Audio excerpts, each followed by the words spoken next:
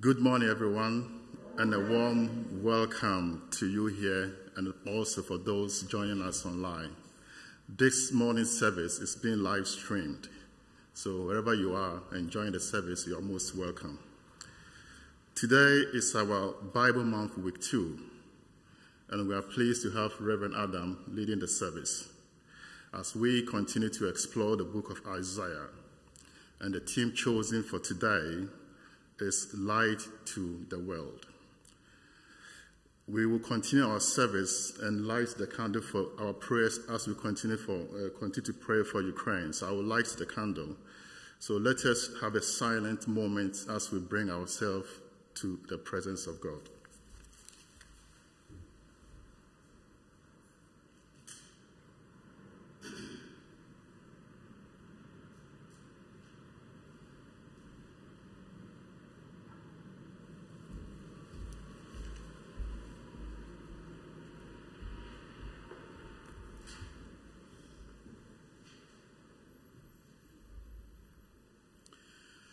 A very good morning to you, beloved brothers and sisters in Christ.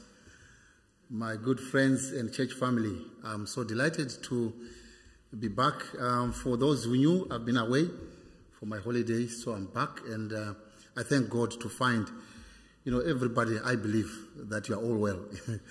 God has been gracious to us. Um, for me, the delighting thing is to be back and find the flock in place. So I give glory, honor, and praise to the Lord.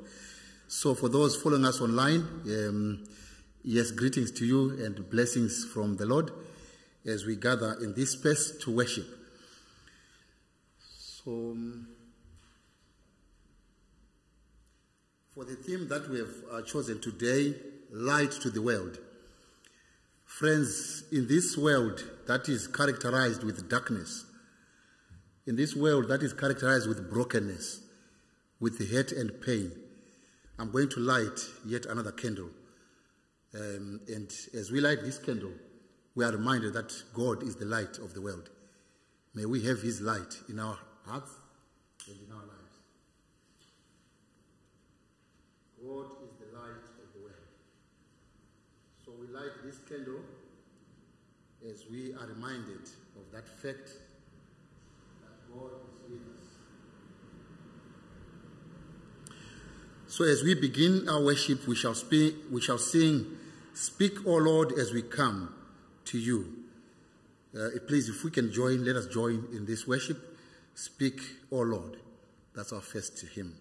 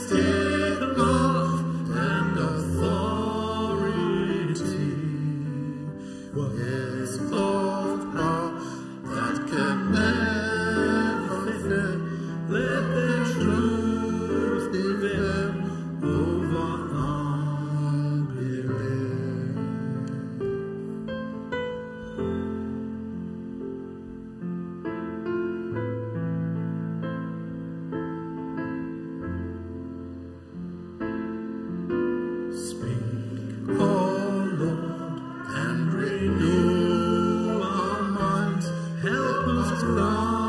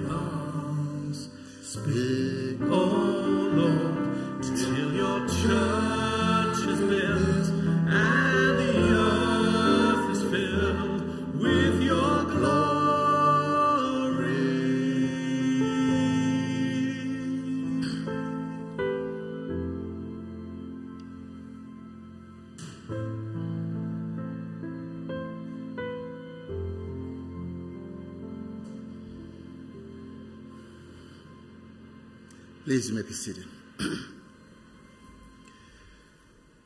At this moment in time, we bring our prayers of adoration. These are prayers of praise.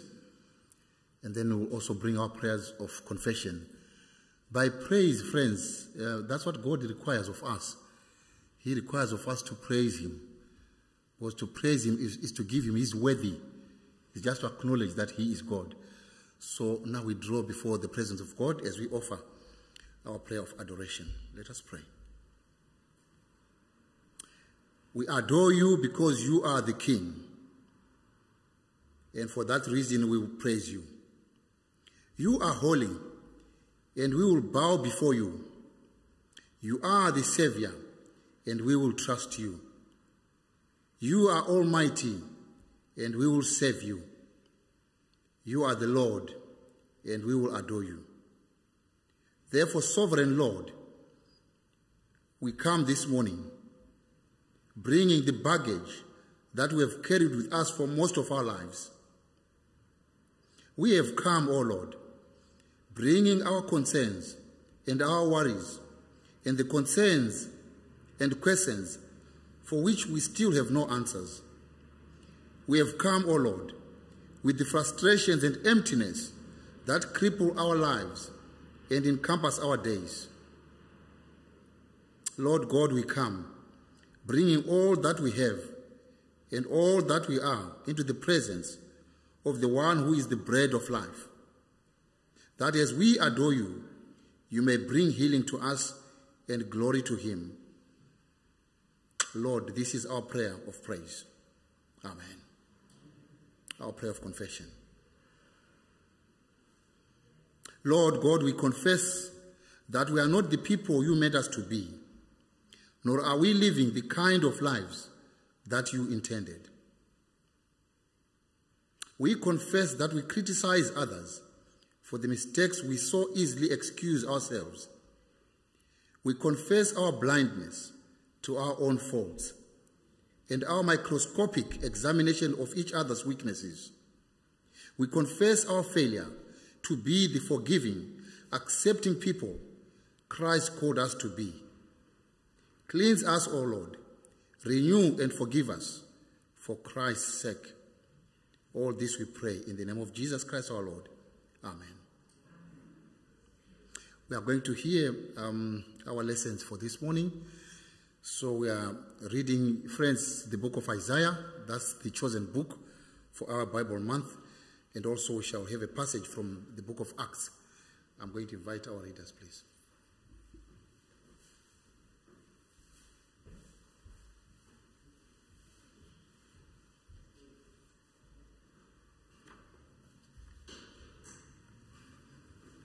Our reading is taken from Isaiah chapter 9, verses 16 to 25. In days to come, the people of Egypt will become weak the Lord who rules over all will raise his hands against them. Then they will tremble with fear. The people of Judah will bring terror to the Egyptians. Everyone in Egypt who hears the name of Judah will be terrified. That's because of what the Lord who rules over all is planning to do to them. At the time, the people of five cities in Egypt will worship the Lord. He is the Lord who rules over all. They will use the Hebrew language when they worship him. They will promise to be faithful to him. One of those cities will call the City of the Sun. At that time, there will be an altar to the Lord in the middle of Egypt. There will be a monument to him at its border. They will remind people that the Lord who rules over all is worshipped in Egypt. The people there will cry out to the Lord they will cry out because of those who treat them badly. He will send someone to stand up for them and save them, and he will set them free. So the Lord will make himself known to the Egypt, the people of Egypt. At that time, they will recognize that he is the Lord. They will worship him by bringing sacrifices and grain offerings to him. They will make promises to the Lord, and they will keep them. The Lord will strike Egypt with a plague, but then he will heal them. They will turn to the Lord, and he will answer the prayers and heal them. At that time, there will be a wide road from Egypt of Assyria. The people of Assyria will go to Egypt, and the people of Egypt will go to Assyria. The people of Egypt and Assyria will worship the Lord together. At that time, Egypt, Assyria, and Israel will be a blessing to the whole earth. The Lord who, rule, who will rule over all will bless those who, three nations. He will say, Let the Egyptians be blessed. They are my people. Let the Assyrians be blessed. My hands created them. And let the Israelites be blessed. They are my very own people. This ends the reading.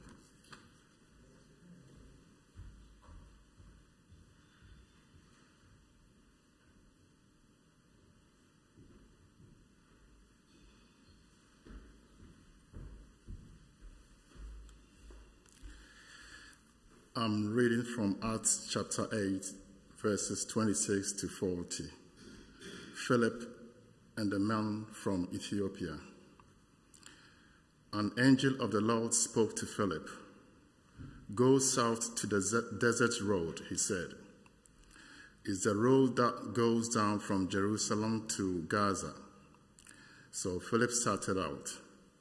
On his way, he met an Ethiopian official the man had important position in charge of all the wealth of the Kandake.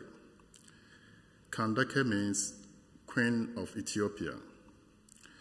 This official had gone to Jerusalem to worship. On his way home, he was sitting in his chariot. He was reading the book of Isaiah the prophet. The Holy Spirit told Philip, Go to that chariot Stay near it. So Philip ran up to the chariot. He heard the man reading Isaiah the prophet. Do you understand what you are reading? Philip asked. How can I? He said. I need someone to explain to me. So he invited Philip to come up and sit with him. Here is a part of the scripture the official was reading. It says, He was led like a sheep to be killed just as lambs are silent when their wool is being cut off, he did not open his mouth. When he had treated, when he was treated badly, he was refused a fair trial. Who can say anything about his children? His life was cut off from the earth. The official said to Philip, Tell me, please, who is the prophet talking about? Himself or someone else.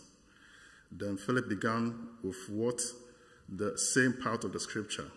He told him the good news about Jesus. As they traveled along the road, they came to some water. The official said, Look, here is water. What can stop me from being baptized? He gave orders to stop the chariot. Then both Philip and the official went down to the water. Philip baptized him. When they came up of the water, the Spirit of the Lord suddenly took Philip away. The official did not see him again. He went on his way full of joy. Philip was next to Azotus. From there, he traveled all around. He preached the good news in all the towns. Finally, he arrived in Caesarea. Here ends the reading.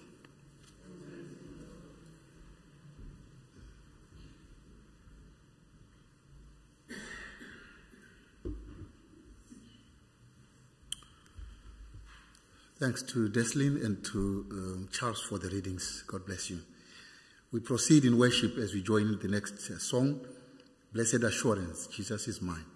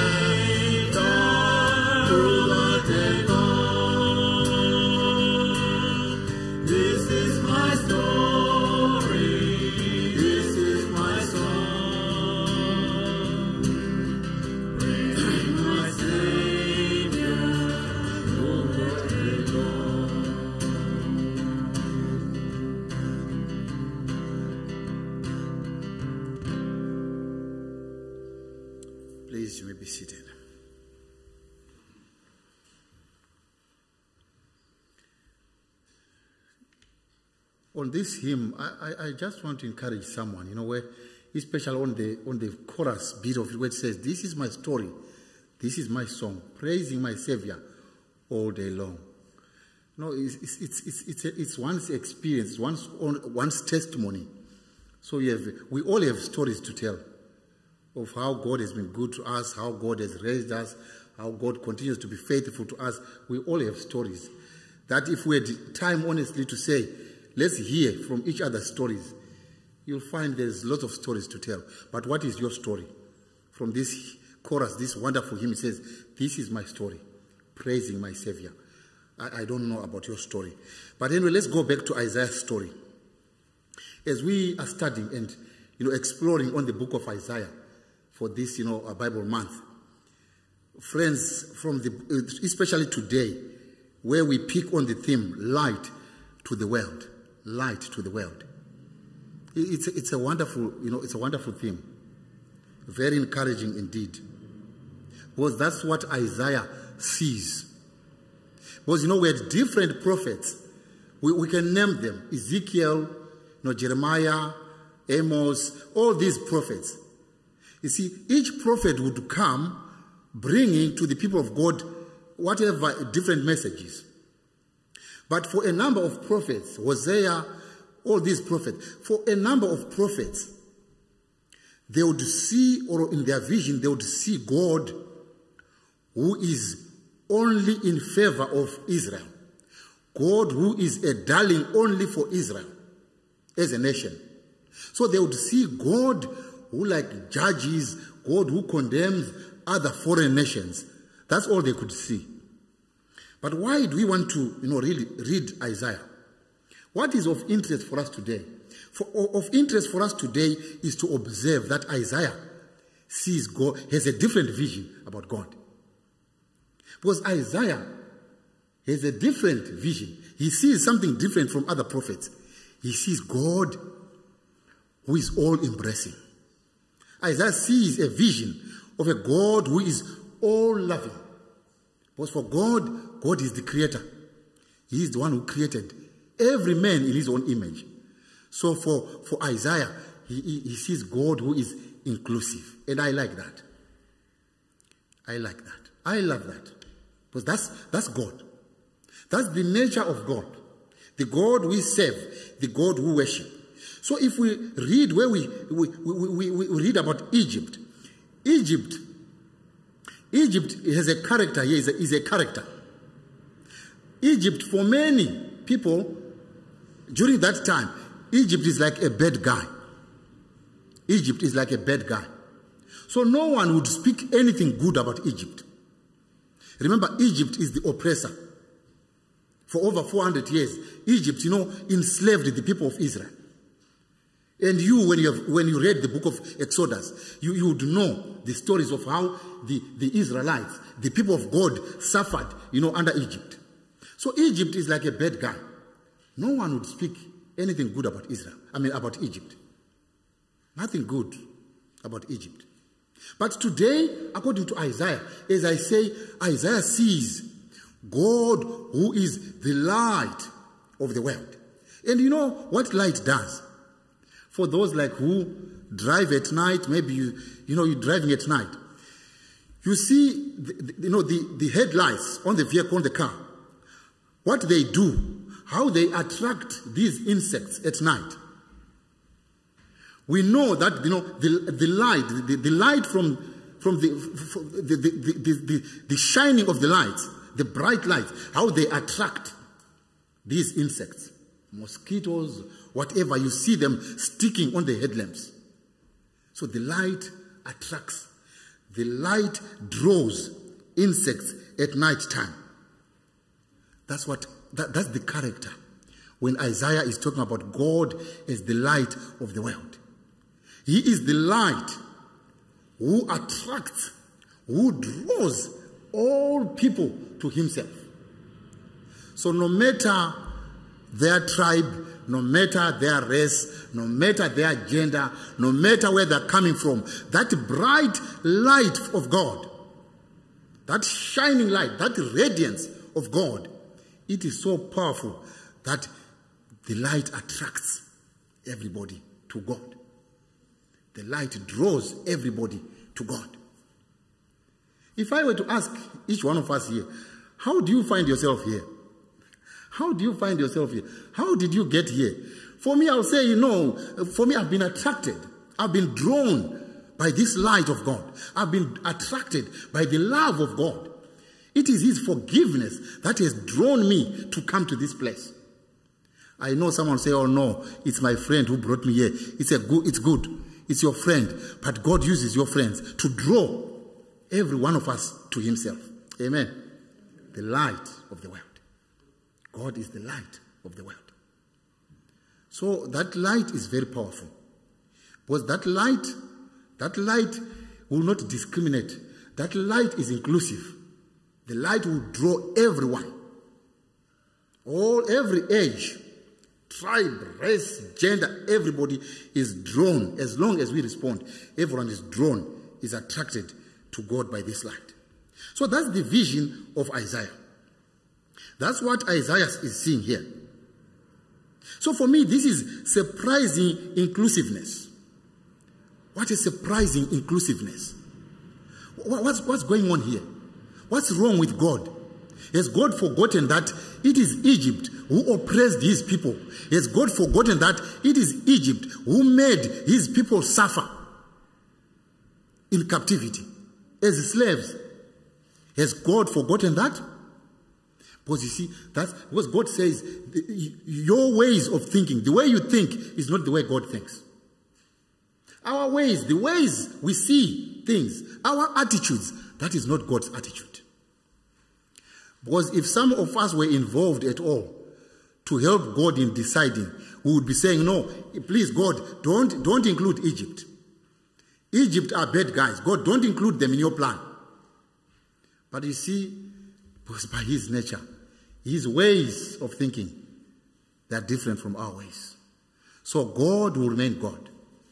God will always be God. That is his nature. He is all inclusive. He is all embracing. He says, Come, my people, come. Come to me. So you see, when, when I look around here and say, Oh, but oh, even so and so is also here. But I'm saying, if we were involved in God's planning, you know, that's the mistake that we've made. Because we've made ourselves, you know, you know, gatekeepers. The mistake that the church has made, the mistake that people in the society have, is to make ourselves gatekeepers. Do you get me right? We forget that we are also, at one time, we are also guests. God has invited us. God has called us by His divine favor, by His grace, and He invites us to be guests, just to sit around and to enjoy the banquet. But what do we do next? We impose ourselves. We give ourselves places that now we are the gatekeepers. We become the bouncers to decide who can come in and who cannot come in. Amen. The light of God. Please get, the, get this from Isaiah. Isaiah is seeing God who say, everyone is invited. Everyone has a place. Everyone has a place. It is not our decision. It is not our choice. It is not our right. I'm saying that's the mistake of making ourselves gatekeepers to decide who comes in and who cannot come in. That's the mistake. So here we see a surprising inclusiveness where even Egypt, God is saying, Egypt, I have chosen you. I have chosen you. My name will be praised. My name will be worshipped in Egypt. Even in, in Assyria. Do you see what God is doing? You know, God is so wonderful. God is so wonderful. He's so loving. Even in Assyria, his name, God's name, will be worshipped. Because I know him. He is the God who will even provide rain for both the good and the wicked. That's God. It is the same God who provide rain even in Russia. Amen. Even in Russia. Are you not? Um, why am I saying even in Russia? Because Russia by now, people are saying, God, please, God, if you could do anything, punish Russia. But God will even pour rains, will shower rain even in Russia. That, that's the nature of God. Because his ways of thinking, his ways, how God sees things, is, is far away from how we see things. Because I said earlier, if it were part, if we were to be included, oh, I'm afraid that so many people would be thrown out. The outsiders. Because how we view things, for now, would be saying, oh, this one should, shouldn't be here. Because for us, we, we have become bouncers at the doors of heaven. We have become, you know, gatekeepers to bring some in and to kick some out. But that is not for us. God is God, the light of the world, is attracting everyone to say, Come, come, my people, come, because they are coming to God. So we see that according to Isaiah, God is doing something new. God is doing a new thing, a unique thing of including even the outsiders. Even the outsiders. We hear them, they are labeled. It's like there's a stigma here. You know, the eunuchs and the foreigners. See, by law, eunuchs were not allowed to come any close to anyone. But in Acts, we read that a eunuch is now being baptized. Isn't this amazing? Isn't God doing something new? Friends, we can never be the judges. We can never take any position to judge others and condemn others and kick others out. Because God, today we are learning, He is saying, even the outsiders, they have a place. He is inviting them. He is calling them to say, Come, come, come, my people. So, who are we to judge? Who are we to condemn? You remember the, the, this story of the, the prodigal son. The prodigal son. You know, some of our attitudes, our attitudes, when this young brother comes back home, there's at home there's this big brother who gets annoyed, who gets angry, he feels jealous. Oh, why has he come back? Sometimes some of us with this attitude of this big brother in the prodigal son. We do not rejoice, we do not cherish, we do not support, we do not encourage those returnees when they come back home to the Father. We want them out there in the cold. That is not Christianity. Christianity is about, you know, heart, the heart saying, please, do, I think there's still space. There's still enough. Even when, we're, even when the house is full, we'll still try to squeeze to say, please. Have you seen in the tube when people are trying to create space for others? Even when, even on the bus, if it is full, we try to squeeze say there's space. But you still find someone saying, oh, I think we, we are full. We are full. They try to block every space. We are full. What is this about? This attitude of this big brother who does not rejoice when his brother, young brother, is back home to the father. He feels, oh, why is he back? But who are we? The light of the world. God is the light of the world. Like the lighthouse at sea. We see that's how God, you know, acts in our lives. The lighthouse at sea, its purpose is to guide the, the big boats and ship, to save them from disaster. That, that's the light of the world. Jesus, where Jesus says, You are the light of the world. Friends, may we try, by all means, to act out actions of love, of kindness, and embracing others as they come to God. Because it is that light which is attracting them, which is drawing them to God the Father. Friends, may I encourage someone today to say, so how do we radiate God's presence? We can only do so by acknowledging that we are guests that God has invited. So as long as we are guests, we will not be the hosts.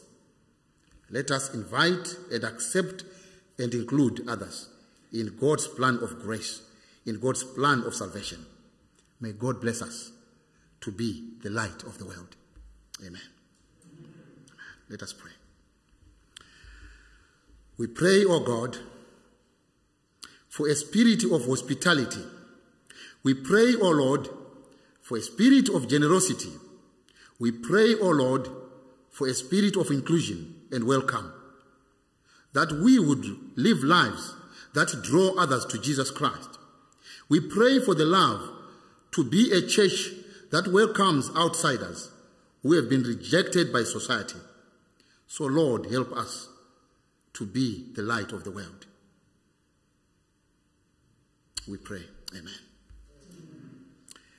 In Christ alone is our next song as we continue to sing to the glory of God. In Christ alone.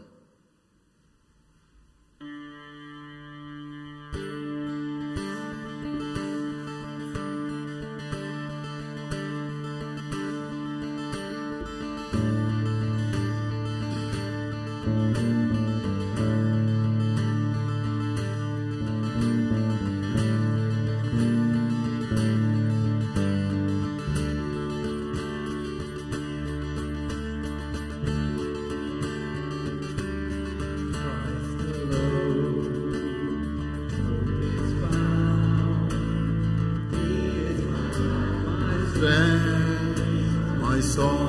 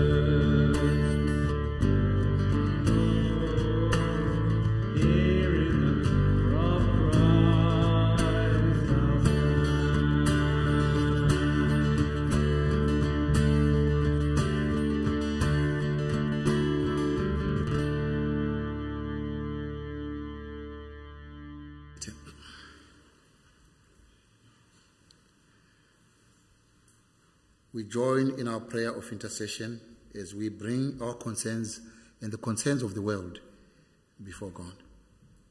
Let us pray.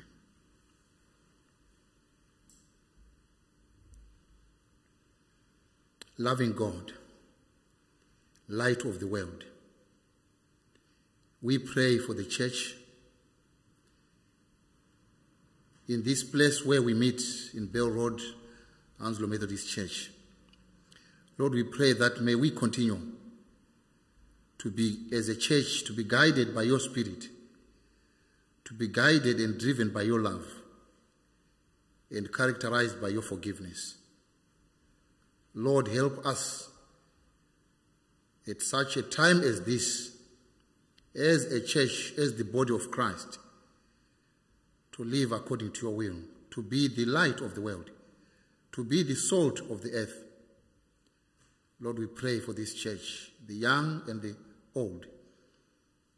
We pray for the preachers, as we also continue to pray for the wider circuit, the Richmond and Hounslow circuit, and the church worldwide, which is the body of Christ. Lord, we pray that we testify of the gospel of truth, that Jesus is Lord and that God is the light of the world. Lord, in your mercy, hear our prayer. Lord, we pray for the world, the world which is broken, the world which is filled with hate and aching. We pray for Ukraine. Lord, we know that your mercy endures forever. At this moment, when we, we continue to say prayers and offer prayers, as we continue to intercede for Ukraine, as if you are not hearing us, as if you are turning a deaf ear on us, yet, oh Lord, we will not stop praying for this nation. We will not stop interceding for them. Lord, you have an answer. Because we acknowledge, we appreciate that we have so many questions, we have so many queries, but you have the answers. Lord, we shall continue to pray for Ukraine.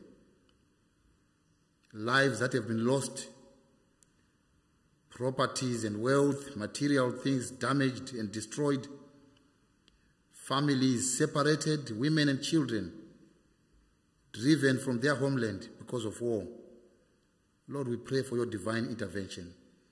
As we also continue to pray for Russia, that may you restore them to sanity, to calm, and to, to peace. We pray for the storms in Germany. We pray for all other nations and places that continue to suffer distress.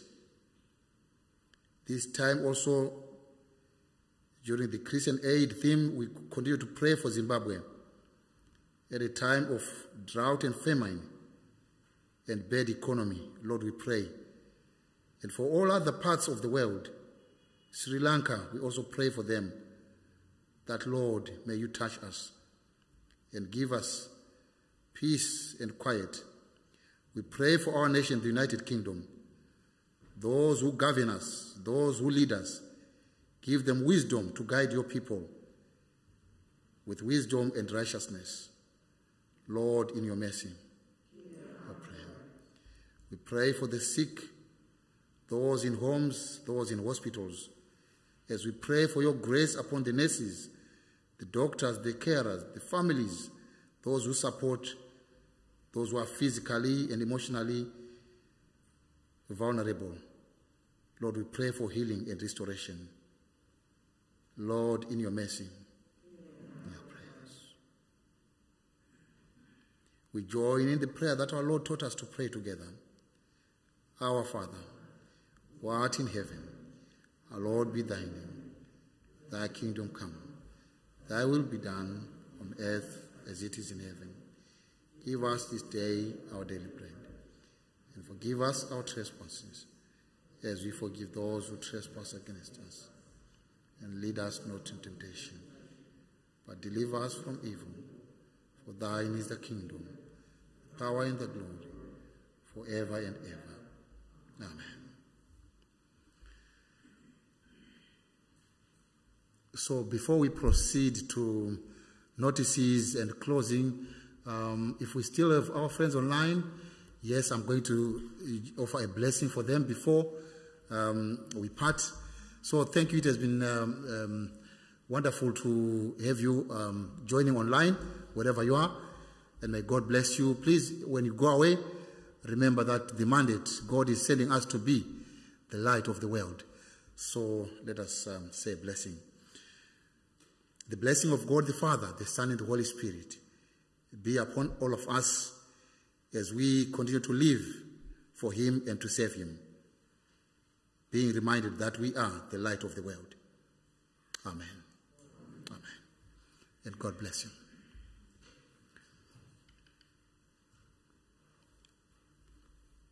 So Charles is coming. Charles is coming again to.